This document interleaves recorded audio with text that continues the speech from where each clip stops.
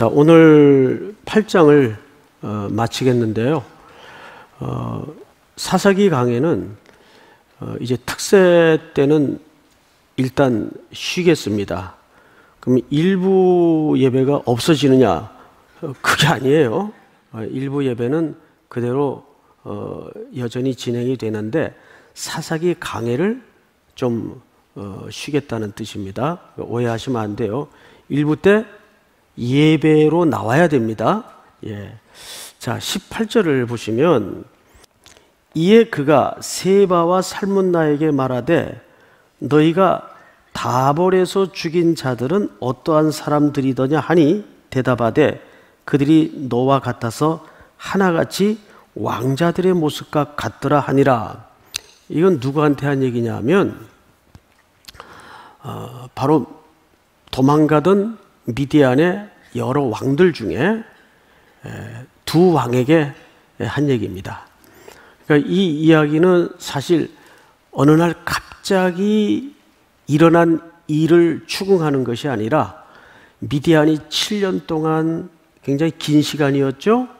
이스라엘을 공격하여 들어오면서 수많은 이스라엘 사람들을 죽였어요. 특별히 오늘 여기 지명을 보니까 다볼에서 그랬어요. 다볼에서.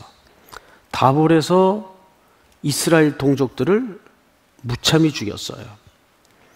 미디안 왕들을 붙잡아 기드온이 7년 동안 있었던 악한 행적들에 대해서 이제 추궁을 하는 겁니다. 자, 그런데 이들이 뭐라고 얘기를 하냐면 어떤 어떤 사람들을 죽였냐 물으니까 그들이 너와 같아서 하나같이 무슨 모습들이더라? 예, 왕자들과 모습이 같더라 이렇게 돼 있어요. 이게 무슨 의미일 것 같아요? 그러면 누가 누가 왕자의 모습과 같다는 얘기입니까? 기도원이 기도원이 지금 묻잖아요.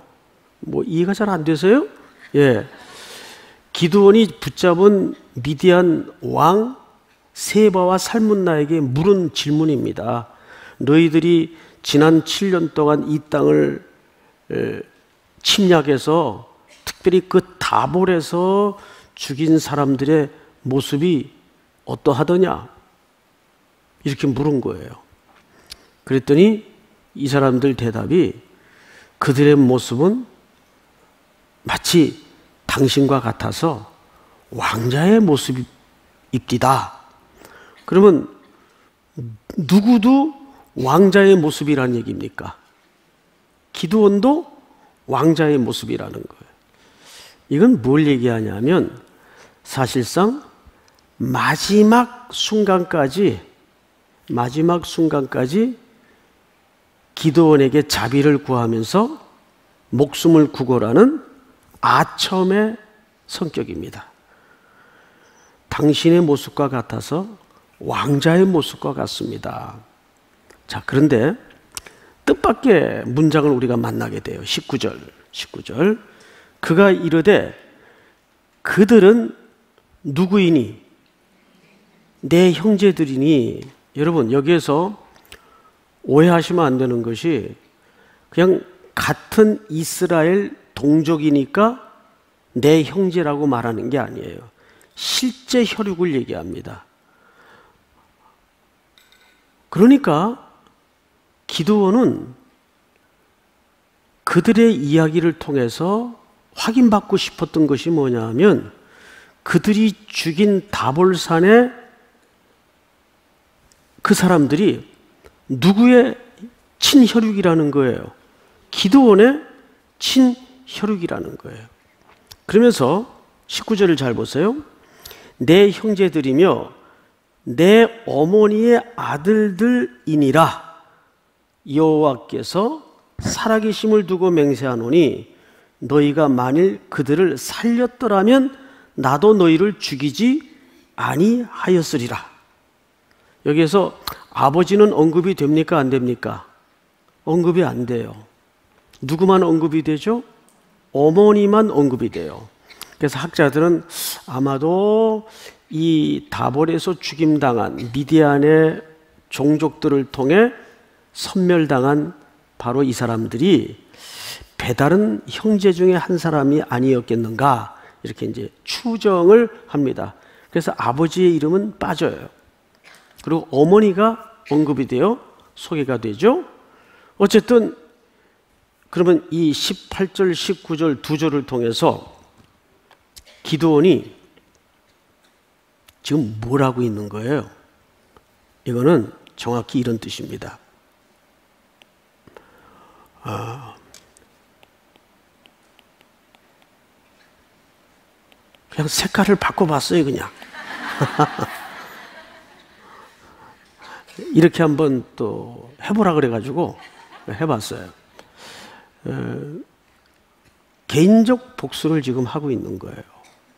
사실 지난주에 강해를 통해서 기도는 미디안과의 전투에서 승리를 결정했어요.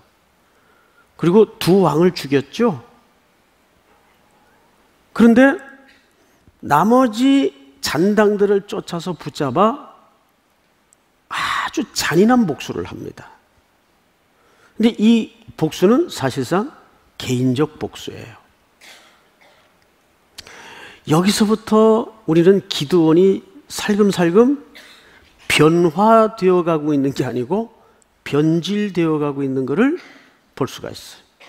오늘 혹시 주보에 제목이 뭔지 확인하고 오셨나요? 오늘 제목이 뭡니까? 그렇죠. 왕이 되어가는 기도원.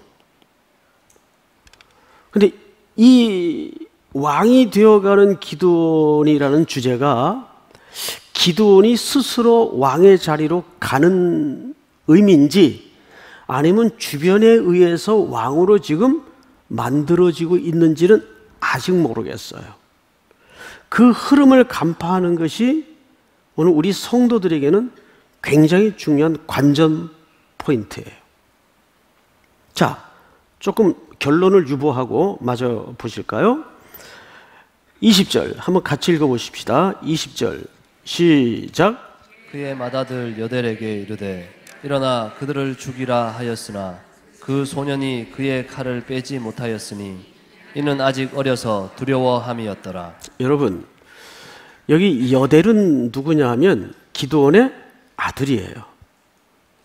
근데 지금 이미 붙잡아 놓은 미디안의 두 왕을 누구로 하여금 사형 집행을 하도록 명령했습니까? 자기 아들에게 이 고난을 맡겨요.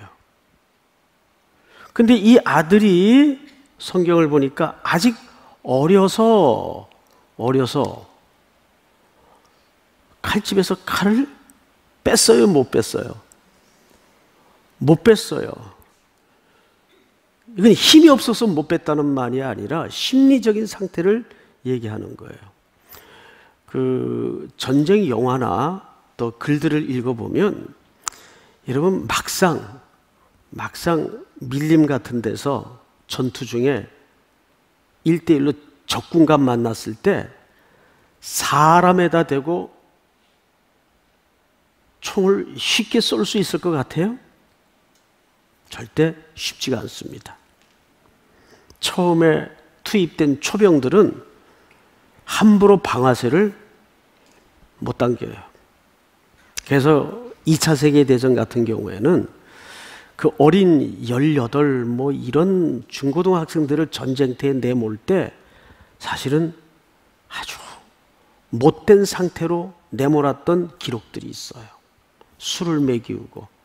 왜? 제정신 가지고는 사람 앞에다 대고 총질 절대 쉽게 못 합니다.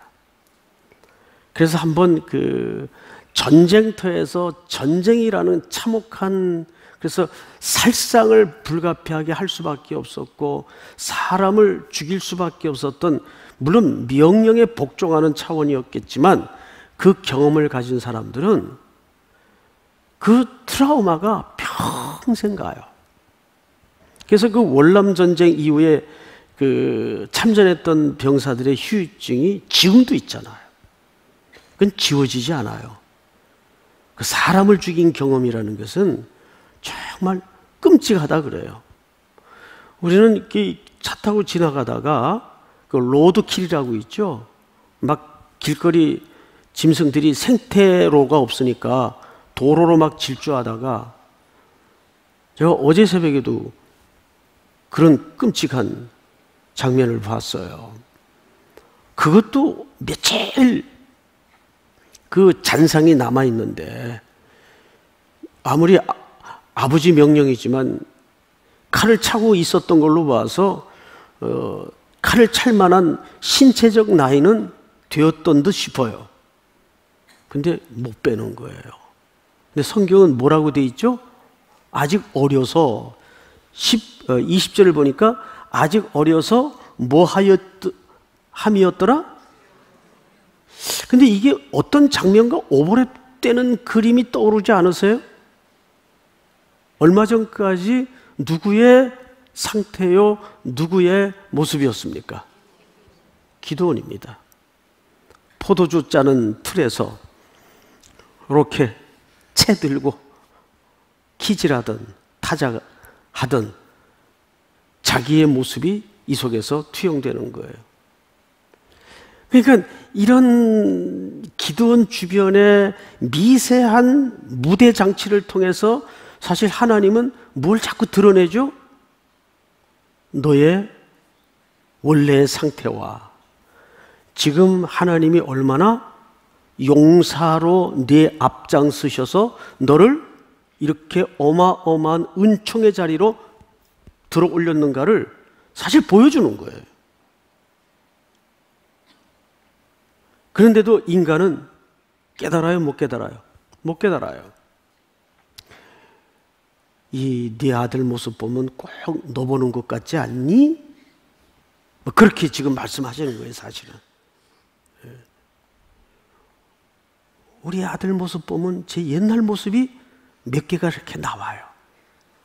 아주 좀 저러, 저러지 않았으면 좋은 그런 모습들이 가끔 나와요. 예. 하나님이 제게 이렇게 보여주시는 것 같아요. 그런 게 있단 말이에요. 자, 그런데 그 다음 절을 한번 보십시다. 세바와 이 죽임당할 적장들이죠. 살문나가 이르되 내가 일어나 우리를 치라. 누구 보고 치라는 거예요? 네. 기도원 보고 치라는 거예요. 왜? 사실 아들에게 죽이라는 말은 적장에 대한 지독한 모독이라는 의미거든요. 이제 온라인으로 이제 장기를 두다 보면 어, 장기 알죠? 장기. 장기를 두다 보면 아주 못된 놈들이 있어요.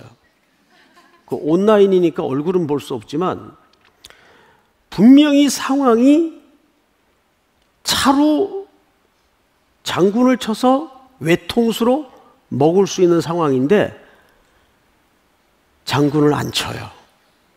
그리고 끝까지 졸을 밀어붙여요. 졸. 그래서 세상에 제 왕을 졸로 먹어요, 졸로. 이런 나쁜 놈들이 있어요. 물론 온라인상의 게임의 한 상황이긴 하지만 그러면 진짜 열받아요. 진짜. 여기 속으로 하는 욕이지만 그 욕이 나와요. 어떻게 이렇게 못 될 수가 있나? 예의도 없는 놈. 이러면서. 이게 사실은 기도원이 지금 여러분 뭐든지 복수도 너무 잔인하게 하는 거 아니거든요. 그거는 사실상 아무리 상대가 어떠하든 간에 우리 인간에 대한 보편적 예우가 아니에요. 복수를 너무 잔인하게 하는 것도 그게 결국 자기에게 안 좋아요. 근데 기도원이 지금 세상에 적장에 목을 따는데 아들을 시켜요. 자기가 할 수 있는데. 적장도 자존심이 있으니까 네가 해라. 그 얘기 하는 거예요. 이게 무슨 의미인지 아시겠죠? 예. 그러면서 이렇게 얘기합니다. 21절. 세바와 살문나가 이르되 네가 일어나 우리를 치라. 사람이 어떠하면 그의 힘도 그러하니라 하니 이게 무슨 얘기냐면 이런 뜻입니다. 이걸 해석하면 그가 소유하고 있는 지위나 능력이나 연령만큼의 힘이 있다는 의미의 사람에게는 그러니까 아직 네 아들은 우리를 죽이기에는 가진 것도 없고 실력도 안 되고 어리다. 사형 집행할 만한 그런 지금 나이도 안 되고 그런 힘도 없다. 그러니까 우리를 더 이상 아프게 조롱하지 말고 네가 죽여라. 그 뜻이에요. 이 소리를 듣고 이제 기도원이 어, 그들을 처형합니다. 21절을 볼까요? 기도원이 일어나 세바와 살몬 나를 죽이고 그들의 낙타 목에 있던 뭘 떼갑니까? 예, 초승달 장식들을 떼어서 가지니라. 이거 왜 뗐는지 아세요? 이 초승달 장식은 사실 이 당시에 월신을 섬기는 가난의 전형적인 문화의 우상숭배의 아이콘들입니다. 상징들입니다.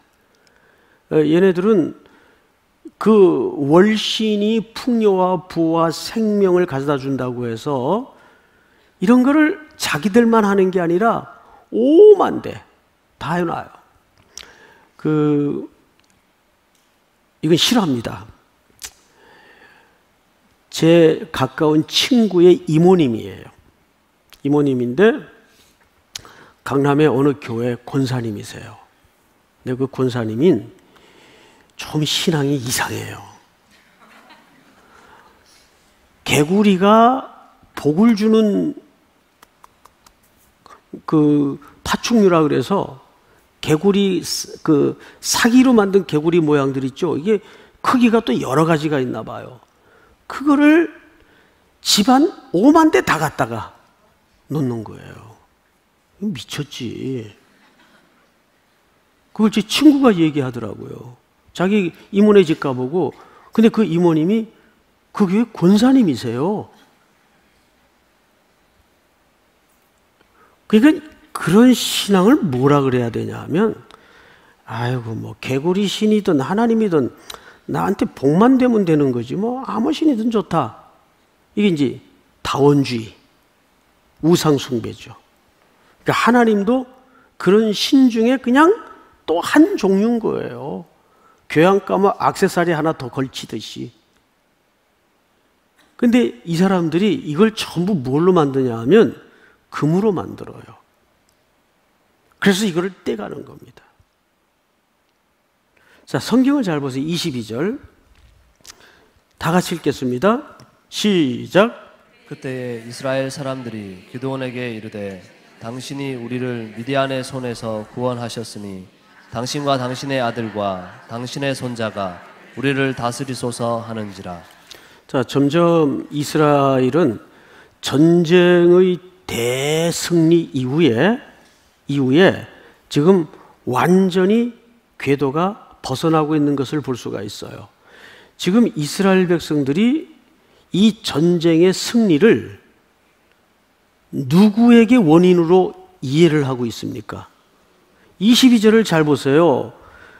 그때의 이스라엘 사람들이 기드온에게 이르되 당신이 우리를 미디안의 손에서 구원하셨으니 이스라엘 사람들은 지금 자기들의 이 승리와 미디안의 손에서 오랜 억압으로부터 건진받은 원인을 리더십과 리더에게 인식을 하고 있어요. 그러니까 이 전쟁의 승리의 원인을 하나님께로 돌리질 않아요. 이것이 이스라엘의 참 고칠 수 없는 고질병이에요. 그런데 웬걸 기도원의 반응을 한번 읽어볼까요? 23절 다 같이 시작. 기도원이 그들에게 이르되 내가 너희를 다스리지 아니하겠고 나의 아들도 너희를 다스리지 아니할 것이요 여호와께서 너희를 다스리시리라 하니라. 23절 기도원의 반응은 뜻밖에도 굉장히 합리적이고 합당한 대답처럼 보여집니다. 그런데 저는 성경을 쭉 앞뒤 문맥에서 읽어보니까 이 대답에 대한 진정성을 의심할 수밖에 없어요. 항상 어, 지도자에게 요구하는 동목은 뭐냐면 말을 했으면 그 말의 진정성이 중요합니다. 그 진정성이라는 건 뭘로 나타나죠? 행동으로 나타날 수밖에 없어요. 근데 어쨌든 대답은 아주 하나님 쪽에 서서 멋지게 대답을 한 듯 싶은데 왜 진정성을 의심할 수밖에 없는가 하면 그 다음 기도원의 행동에서 우리는 고개를 갸우뚱할 수밖에 없어요. 24절을 볼까요? 기도원이 또 그들에게 이르되 내가 너에게 요청할 일이 있으니 너희는 각기 탈취한 금 귀고리를 내게 줄지니라 하였으니 이는 그들이 이스마엘 사람들이므로 무슨 고리가 있었음이라? 예. 야, 참 기도원이 예, 가만히 보니까 얍삽의 대가예요. 자, 잘 생각하세요. 기도원이 아, 나 왕은 됐고, 왕은 됐고, 그 탈취한 것 중에 뭘 달라 그랬어요? 금 귀고리를 달라 그러지 않았어요. 그냥 귀고리를 달라 그랬어요. 그런데 그 귀고리는 사실 다 뭘로 만드는 거예요? 금으로 만든 거예요. 초승달 모양도 금으로 만든 거예요. 그러면 지도자 입장에서 모양새가 귀고리를 달라 그런 게 맞겠어요? 금 귀고리를 달라 그러는 게 좀 모양새가 낫겠어요? 그래 전자죠. 그래서 금자는 싹 빼지만 사실 그걸 요구했던 복심은 뭐예요? 금이에요. 금. 그러니까 이 사람이 말과 행동이 같은 사람입니까? 다른 사람입니까? 다른 사람이에요. 슬쩍 그냥 귀고리를 달라 그럽니다. 근데 그 속에는 그 귀고리를 달라 그러는 다른 이유가 있었어요. 그리고 이제 보십시다. 이게 무슨 화를 자초하는가를 우리는 그 발전 과정을 볼 필요가 있어요. 25절 제가 읽습니다. 무리가 대답하되 우리가 어떻게 드리리이다? 즐거이 드리리이다 하고 겉옷을 펴고 각기 탈취한 귀고리를 그 가운데 던지니 기자 26절 다 같이 시작 기도원이 요청한 금 귀고리의 무게가 금 1700세겔이요 그 외에 또 초승달 장식들과 폐물과 미디안 왕들이 입었던 자색 의복과 또 그 외에 그들의 낙타 목에 둘렀던 사슬이 있었더라. 네. 어, 성경을 잘 보니까 25절에 무리들의 반응이 어, 마지못해 줍니까? 즐거이 줍니까?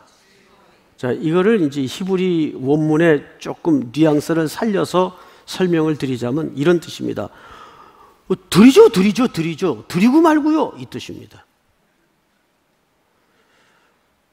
그러면 지금 서서히 기도원은 왕이 되어 가고 있어요? 안 되어 가고 있어요? 누구에 의해서? 누구에 의해서? 백성들에 의해서 왕이 만들어져 가고 있어요. 이것이 눈치채지 못하는 사이에 교회 안에서 만들어질 수 있어요, 없어요? 있다고요. 만들어질 수 있다고요.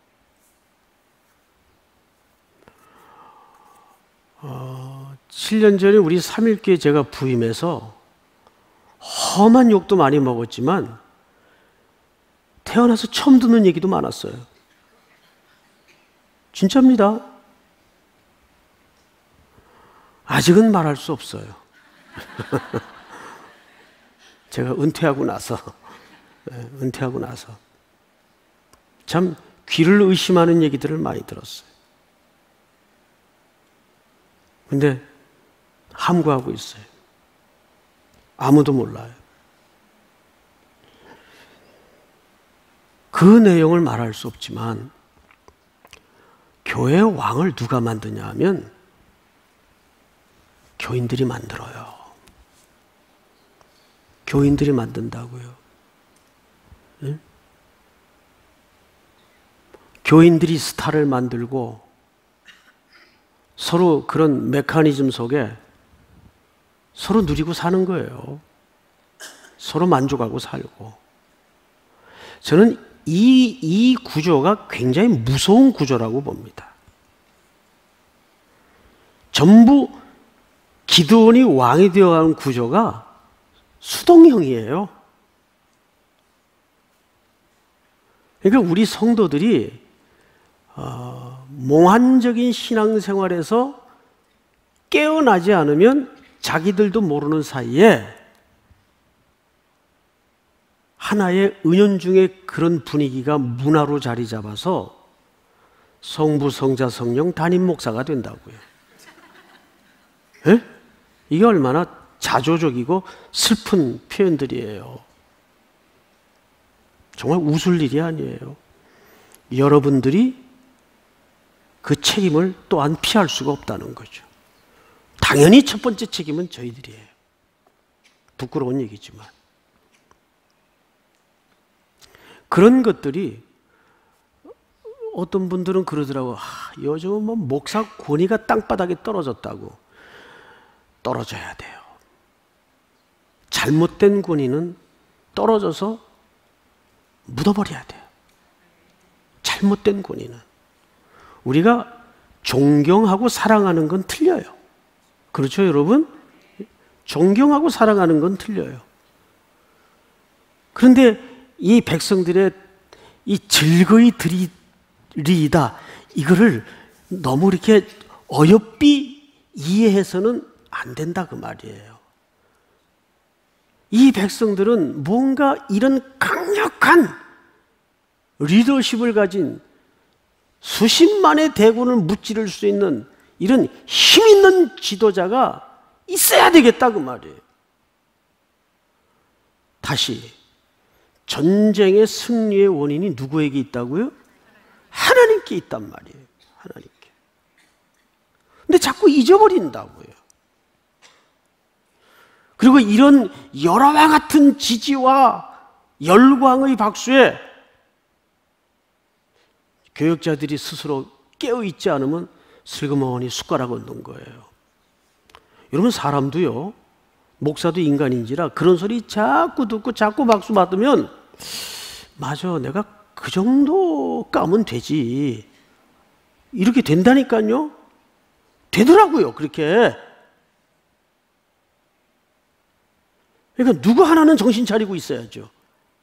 목사가 정신 차리고 있든지 성도들이 교회가 정신 차리고 있든지 성경을 또 보십시다. 어, 26절 기드온이 요청한 금 귀고리의 무게가 얼마입니까? 1700세겔이에요.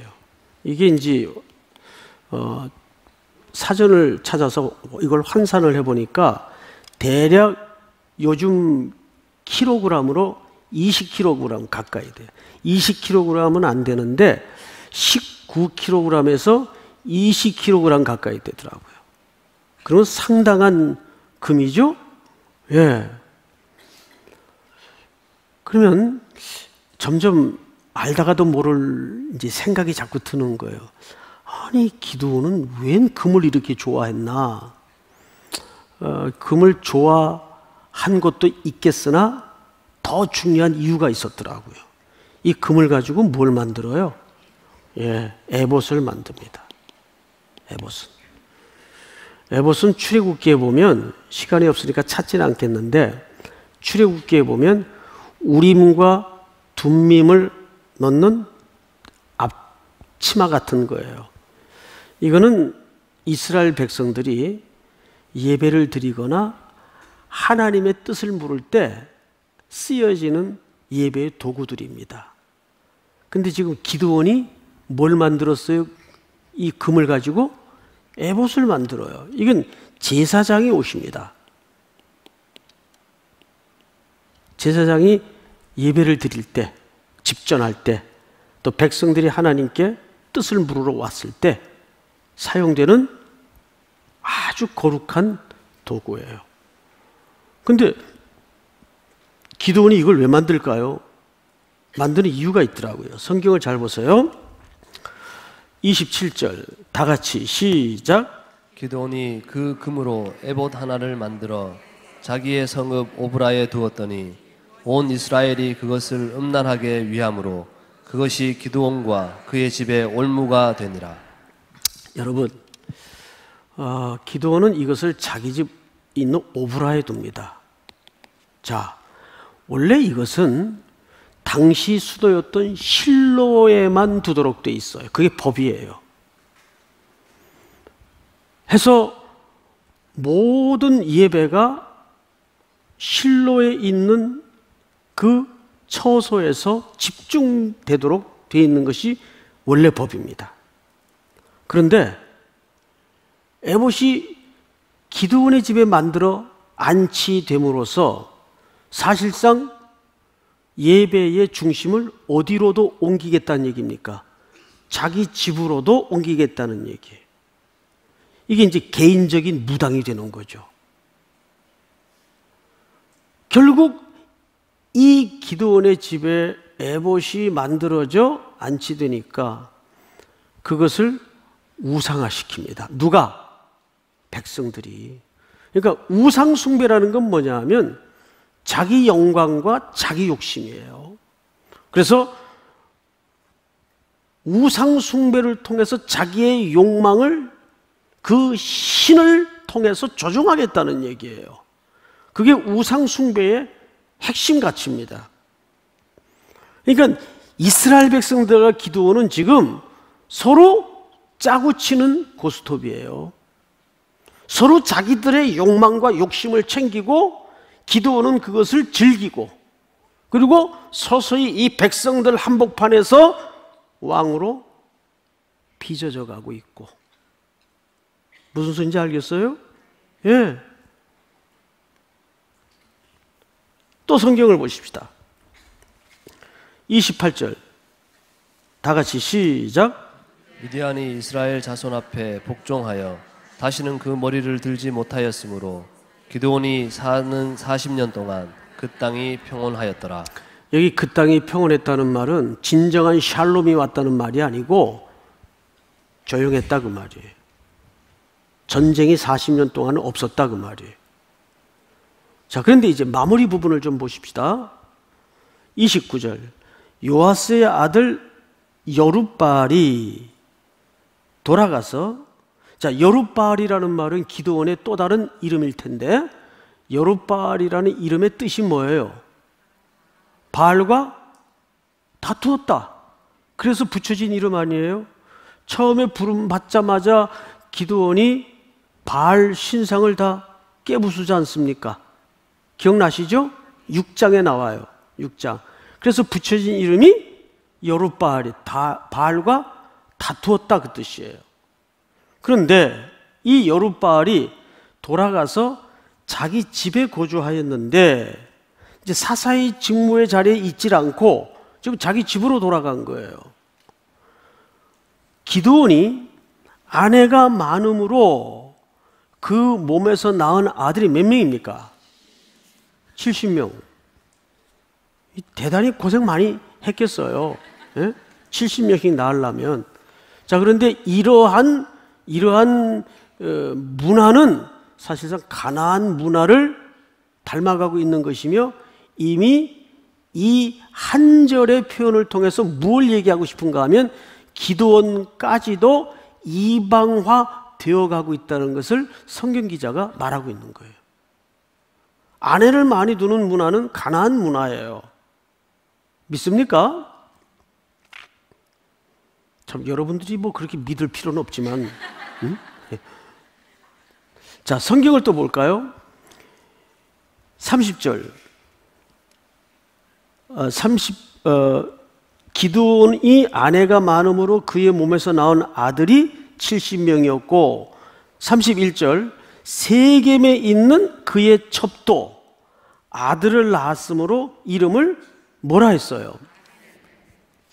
자, 여기 좀 이상한 거 없어요, 여러분? 30절과 31절을 읽다가 자, 보세요. 30절과 31절을 읽다가 여기에는 그냥 어쨌든 아내면은 법적으로는 기도원에게 합법적인 아내들이에요. 예. 원래 아내들이라는 어법은 존재하지 않지만 여기는 몇 명이라고 그냥 한꺼번에 숫자로 해 놨습니까? 70명. 그런데 첩은 지금 어디 있는 첩이에요? 세겜. 여러분 지금 기도원의 집은 어디입니까? 오브라. 그럼 오브라에서 세김까지면 거리가 엄청 먼 데예요. 근데 첩을 어디다 뒀어요? 세김에다 뒀어요. 바빴겠어요. 네? 본점, 지점. 그런데 이 첩이 나온 아들의 이름이 밝혀져 있어요? 안 밝혀져 있어요? 이름이 뭐예요? 아부, 아비, 이게 아버지. 예? 멜렉. 멜렉이 뭐예요? 이게 왕이란 뜻이에요. 그러니까 이것은 무슨 뜻인가? 우리 아버지는 왕이시다. 그러면 첩의 아들 이름이 지금 아비멜렉이에요. 그러면 이 아들의 입장에서 누가 왕이라는 거예요? 기도원이 왕이라는 거예요. 근데 이 아들이 아내의 아들입니까? 첩의 아들입니까? 첩의 아들이에요. 이것은 뭘 사실상 예시하는 그림인가 하면 이 이후에 등장하는 모든 사사들이 정통 사사들이 아니라 이상한 출신의 사사들이 일어날 것을 예고하고 있는 겁니다. 그러니까 이스라엘의 역사는 지금 사실상 정통의 길에서 벗어나 있는 거예요. 근데 기도원이 우리 아버지는 왕이시다. 이런 이름을 이 아들이 지금 떡하니 붙였다면 죄송하지만 이름은 원래 아기가 태어나면서 내 이름은 아비멜렉으로 해줘. 이릅니까?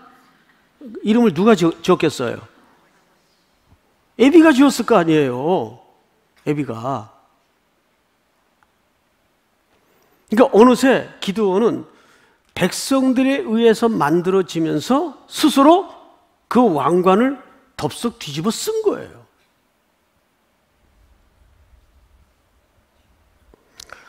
제가 너무 기도원을 코너로 모는 것 같아요. 예, 저는 기도원하고 아무 원한이 없어요. 제가 기도원하고 무슨 예? 줄넘기 한 번은 같이 한 적이 없어요. 자, 그런데 이제 막바지 32절 다 같이 읽습니다. 시작. 요아스의 아들 기드온이 나이가 많아 죽음에 아비에셀 사람의 오브라에 있는 그의 아버지 요아스의 묘실에 장사되었더라. 그도 결국 인간이기에 순리를 따라 조상의 무덤에 묻히네요. 자, 세월을 따라 가요.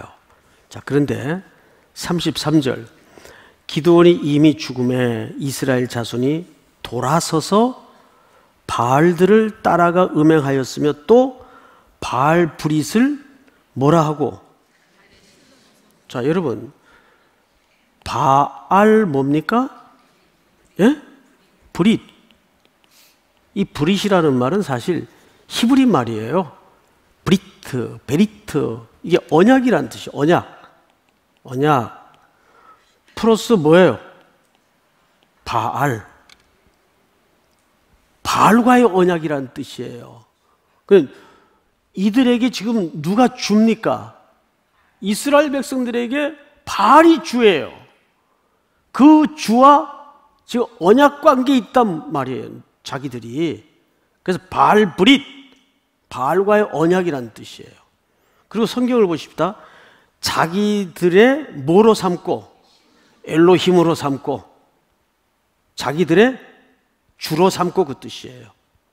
자, 성경을 또 볼까요? 34절 다 같이. 이스라엘 자손이 주위의 모든 원수들의 손에서 자기들을 건져내신 여호와 자기들의 하나님을 기억하지 아니하며 자, 하나님은 끝까지 집요하게 누가 건져내셨다고 강조하고 있죠? 자기가 건져내셨다고 하나님이 건져냈다고 강조하고 있어요. 근데 이스라엘 백성들은 그 하나님을 뭐 하지 아니하며 기억하지 아니하며 항상 잊어요. 기억하지 아니하며 35절 다 같이 읽습니다. 시작. 또 여우바알이라 하는 기드온이 이스라엘에 베푼 모든 은혜를 따라 그의 집을 후대하지도 아니하였더라. 여룻바알은 누구의 별명이었어요? 기도원의 바알과 다투었다라는 의미였어요. 근데 이 여룻바알을 바알을 왕추대했던 이스라엘 백성들은 지금 바알 브리트가 돼 있어요. 바알을 주로 바알과 언약 관계에 있다고 자가당착에 빠져 있어요. 그 이유는 하나예요. 하나님의 은혜를 기억치 못하고 잊은 거예요. 그리고 성경을 보십시다. 여룻바알이라 하는 기드온이 이스라엘에 베푼 모든 은혜를 따라 그의 집을 후대라는 말을 헤세드라는 말인데 자비롭게 여기지도 아니하였다 그 말이에요. 자,